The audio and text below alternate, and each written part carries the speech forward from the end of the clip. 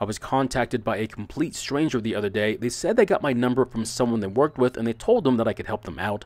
I must say, I was a bit taken back by the request, but I don't mind helping so long as they weren't going to give me a hard time about the way I work on things. They said they had a Stihl trimmer and that it needed some work.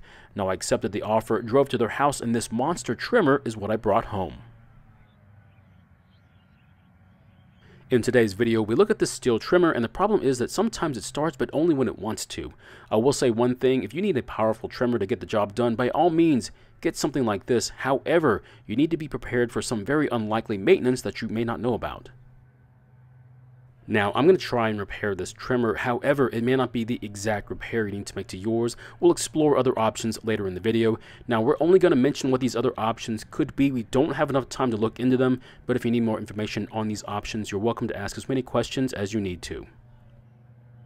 Now the person I got this from is well aware of the many helpful videos out there, so they already looked at the spark arrestor screen, changed out the spark plug and even the air filter, but this time those items didn't help out their issues they were having.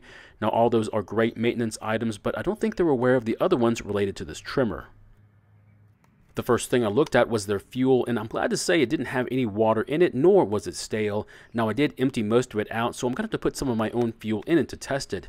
Now when pressing the purge bulb, it was filling up with fuel, but even though it's working, it doesn't mean there isn't an issue with the carb. Next I'll try and start it and show you what it's doing.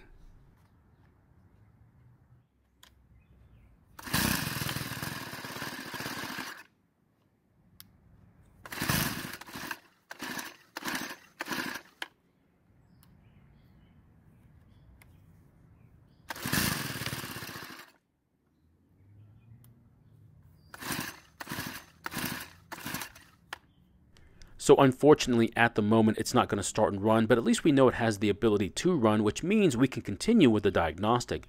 Now, it could be a carb issue, but in the years this thing has been in service, it's never had the valve lash inspected, which is a huge maintenance issue with this particular engine. Now the valve lash is the clearance between the rocker arm and the top of the valves, and this clearance is very important when it comes to the timing of when the valves open or close. So we need to remove the top cover followed by the valve cover, put one of the rocker arms in the down position, and then check the other rocker arm to see if the valve lash is out of spec. With the exhaust rocker arm in the down position, I'm going to use this sliver of a 4 thousandths of an inch shim to feel how it fits in the clearance between the intake rocker arm and valve. After sliding it into the clearance and moving it around, I don't feel any drag on it, and it's really easy to move around. What that's telling me is that the clearance is larger than the shim, so that means it's out of tolerance and needs to be adjusted. After putting the intake rocker arm down, I'm going to do the same procedure for the exhaust clearance, and just like the intake, it's also loose and needs to be adjusted so the shim is not loose, but drags between the valve and the rocker arm. To make the adjustment, I'm going to slide the shim around while slowly turning the nut on top of the arm until the shim lightly drags between them. If you turn the nut too far, the shim will get stuck in the clearance, and to fix it, you'll just need to turn the nut the other way until it's free again. Once the shim is loose again, start the procedure over, and this time try making smaller adjustments. Now once the shim is dragging between them, move on to the next arm.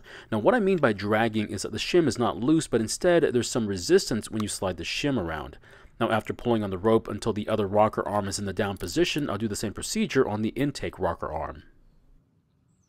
After turning the nut a few degrees, I can feel the shim drag between the arm and the valve, so we should be good to put everything back together and try another test start.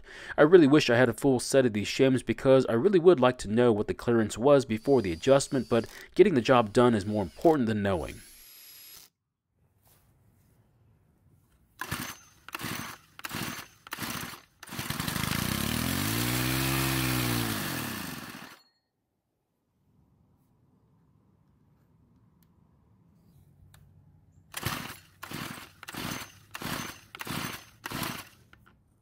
So unfortunately it didn't start and this could mean we have a carb issue on top of the valve lash problem. I'm going to adjust the carb by turning out the L screw but before I do that I'm going to turn it clockwise until it stops to find out where it was set at. That way I can put it back to where I found it. So it turns out it takes a full turn to bottom out the screw so when turning it back out I'm going to turn it an additional quarter turn so it gives more fuel to the engine.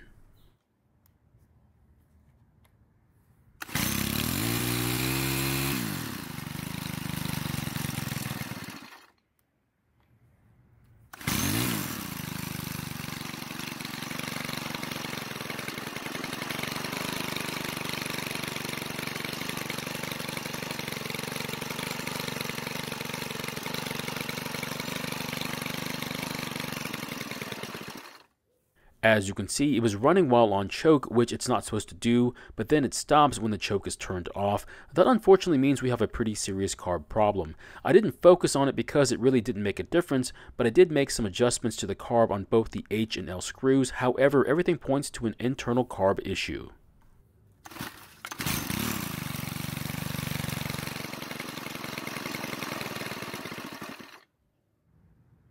Now, since it won't stay running no matter what changes we make, we've got to put it on the table for a full inspection, or at least enough of an inspection to decide what to do. I'll be honest, I don't normally work on this grade of equipment, and I had forgotten how different this machine is to the normal stuff I work on. Now the air filter base is surprisingly made out of metal and there's also a breather tube that goes to the top of the fuel tank. While trying to take it off, I ended up taking the tube off the tank which works just as well, although you do risk breaking the port it's connected to, so I would suggest taking it off the base instead. After that, I'm going to disconnect the throttle cable and the fuel lines, but when I was trying to figure out how the fuel lines were connected and while pressing the bulb, I found out we have a very serious issue. The carb was leaking fuel, especially when pressing the bulb. I'm going to let you know the fuel is not supposed to be spraying into the carb like this when pressing the bulb. Now the main purpose of a bulb is to pull fuel from the tank and into the carb, eventually returning it back to the tank. Doing this makes it easier to start the engine. It's not supposed to spray any fuel for this type of engine. It's different for lawnmowers and snowblowers which are supposed to do that. So what am I going to do now? Well, if you've seen any of my older videos, you'll know that I typically go through the carb and try to fix it, but this one is a bit different. So what happened is that I took the carb off the engine and took it apart and eventually realized that the metering diaphragm was in rough shape, so I replaced it. I also inspected the pumping diaphragm and it was in decent shape as well. I cleaned the carb, put it back onto the engine, and this is what happened. Now I know it's hard to tell, so I'm going to touch the fuel and it should be pretty obvious that it's still leaking. Now it's not as bad as it was before we opened it, but it still doesn't matter. Now I have to decide if I want to find and order the correct rebuild kit or just buy a new carb instead. And if you've seen my older videos, I typically just order a new carb. The reason I order a new carb versus getting the rebuild kit is because it's easier to find and you don't have to worry about taking the carb apart again. There's also another reason why I insist on just replacing the carb and it's because it makes good financial sense. The cost of the kits are getting to be just as much as the new carb so I think most people would see that choosing the carb is the best option. Before you replace the carb, set them side by side and compare them to make sure the new one is going to work. After looking at this one, I'm very certain it's going to work and that is until I try to install it, and that's when I run into a physical roadblock.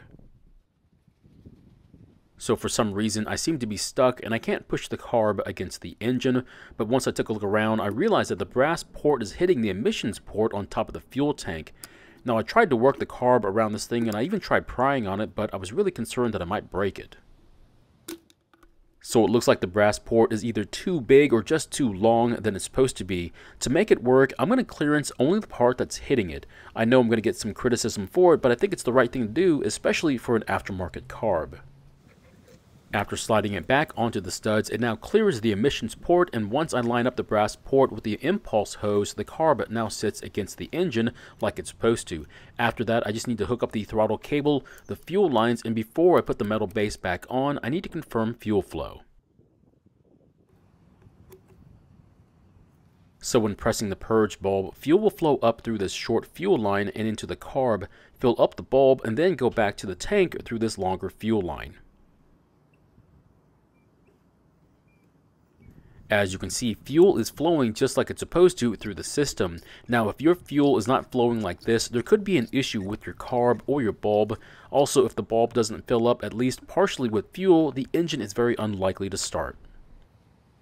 Now remember to install the emissions hose back to the port on top of the fuel tank if yours came off like mine did. If you don't remember, the engine could breathe in unfiltered air and cause it to wear out prematurely. Now once this part is done, we'll start it back up and see how it runs. Hopefully we don't find any surprises and I can give it back to the owner.